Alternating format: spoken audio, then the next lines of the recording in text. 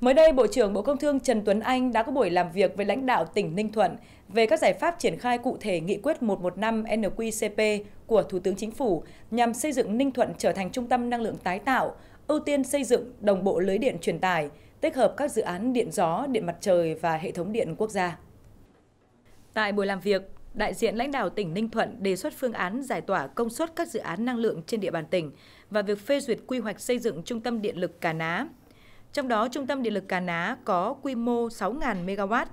sẽ cung cấp cho lưới điện một lượng điện năng khoảng 36 tỷ kWh một năm, không chỉ bổ sung điện năng đáp ứng cho nhu cầu phụ tải mà còn góp phần ổn định hệ thống điện, nâng cao an ninh năng lượng sơ cấp.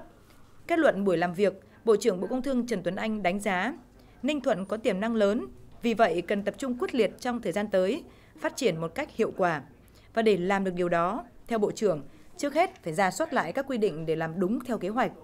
Tỉnh Ninh Thuận cần thống nhất với EVN các nội dung liên quan để báo cáo lại với Bộ Công Thương –